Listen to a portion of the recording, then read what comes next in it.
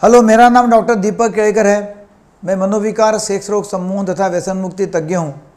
महाराष्ट्र में अकोला में प्रैक्टिस करता हूँ।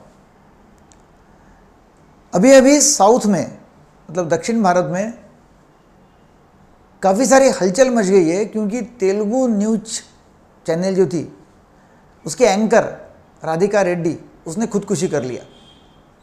एक अप्रैल 2018 को उसने खुदकुशी किया, पांचवी मंजिल से वो कूद गई।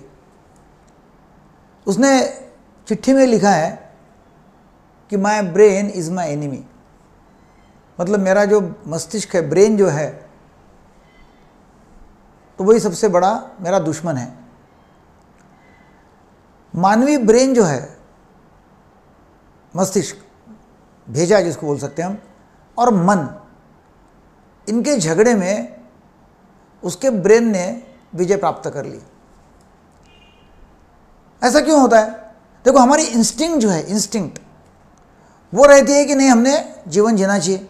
मतलब हर एक को जीवन जीने की बहुत इच्छा होती है, मरने की किसकी इच्छा होती नहीं है? फिर जब मरने की कोई किसी की इच्छा नहीं है, फिर आदमी खुदकुशी क्यों कर लेता है? तो क्या प्रॉब्लम है?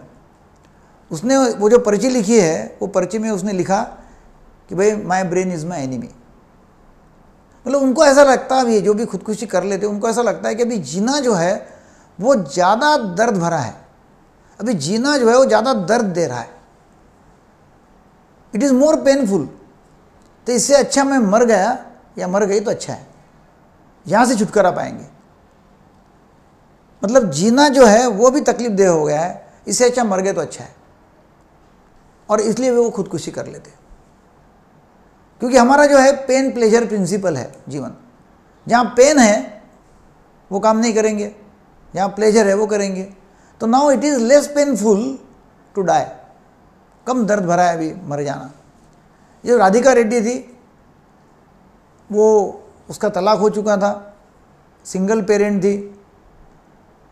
उसकी जो लड़की है, उसको ऑटिज़म है। और उसने कभी ऐसा बाहर बताया नहीं कि वो निराश और हताश है। और उसने खुदकुशी कर ली। ऐसे काफ़ी सारे लोग हैं कि जो डिप्रेशन के मरीज़ हैं और वो खुदकुशी कर लेते हैं। बाहर मालूम ही नहीं पड़ता। एक्चुअली आत्महत्या करना है, खुदकुशी करना है, उसके लिए बहुत साहस लगता है। वो कहाँ से आता, कहाँ से? वो आता इसलिए है कि भाई जीना भी मुश्किल हो गया मतलब वो बहुत तकलीफ़ दे, तभी मर जाना अच्छा है। जो हमारे देश के आंकड़े हैं 2015 के, उसके मुताबिक हमारे देश में एक लाख तैंतीस हज़ार छः सौ तेईस लोगों ने खुदकुशी कर ली है।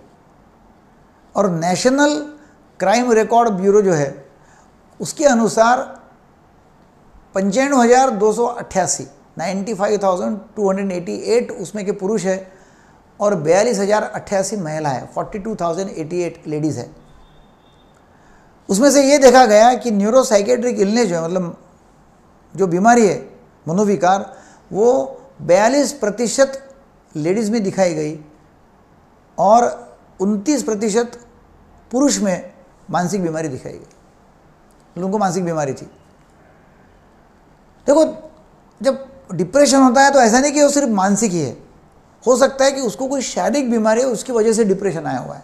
तो वो भी हमको देखना पड़ता है एज ए साइकियाट्रिस्ट कि भाई उसको डिप्रेशन जो है मतलब निराश और हताश जो है, उसमें और कुछ उसके साथ साथ बीमारी है क्या? एक तो क्या होता है, निराशा के लक्षण जो है, वो है कि दुखी रहना या उदास रहना, खुद को दोष देना बार बार रोना आना, बिना कुछ वजह का रोना आना, सुबह जल्दी नींद खुल जाना या दिन भर अच्छा रहना, शाम को बहुत ज़्यादा तकलीफ़ हो जाना।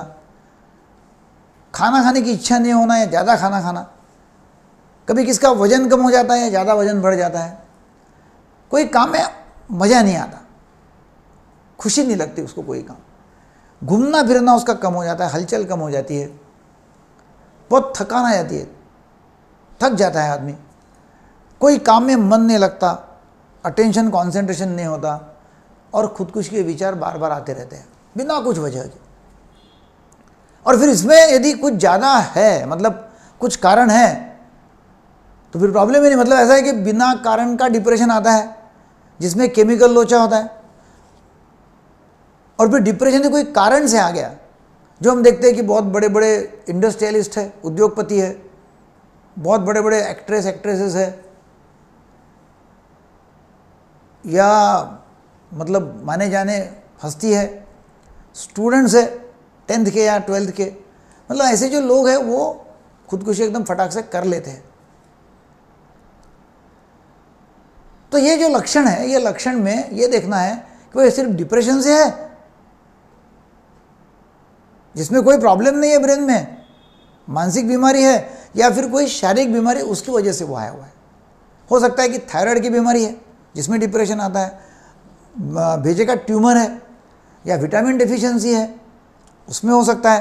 तुमको ये देखना पड़ता है कि भाई कोई और बीमारी है कि जिसकी वजह से डिप्रेशन आया हुआ है या कोई बीमारी नहीं है और तभी भी डिप्रेशन आया हुआ है। एडिक्शंस लत जो लगता है, जो लोगों को लत है, उनको डिप्रेशन आता है या बहुत पुरानी बीमारी है, उससे डिप्रेशन आ सकता है। तुमको ये देखना है कि भाई किसको डिप्रेशन आने के लिए मतलब सिर्फ़ डिप्रेशन ही है, उदासीनता है कि कोई शारीरिक कारण से डिप्रेशन आया हुआ है। इसलिए अभी अभी हमारा एक सिटीज़न करके एक मतलब नागरिक करके हमारा ये फ़र्ज़ बनता है कि हमारे आसपास यदि ऐसे कुछ लोग हैं तो वो खुद यदि जाते नहीं हैं डॉक्टर के पास में तो उनको, उनकी सलाह देना और उनको डॉक्टर की तरफ़ लेके जाना।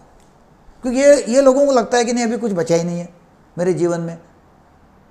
बाहर से तो अच्छे दिखते हैं, अंदर से पता नहीं क्या चल रहा है दिमाग में। इसके इसके उपाय क्या है कि एक तो दवाई लेना मेडिसिन लेना फिर ज़्यादा डिप्रेशन नहीं है तो रेगुलर एक्सरसाइज कसरत करते रेगुलरली सकारात्मक पढ़ाई करना मतलब मोटिवेशनल बुक्स है मोटिवेशनल वीडियोज़ है, वो देखना। रेगुलर डाइट खाना, बराबर खाना। कोई एडिक्शन नहीं करना, शराब वगैरह कुछ लेना नहीं।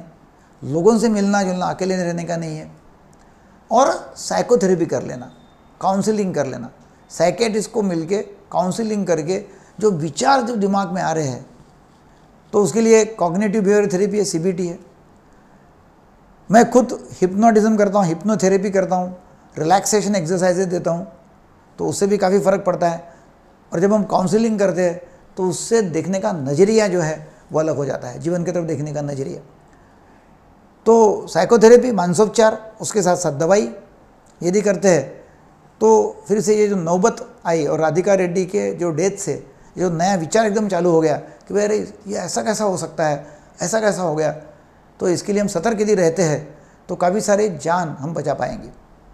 आपके संपर्क में काफ़ी सारे लोग होंगे कि 10 टू 15 परसेंट लोगों को डिप्रेशन कभी ना कभी ज़िंदगी में आता है।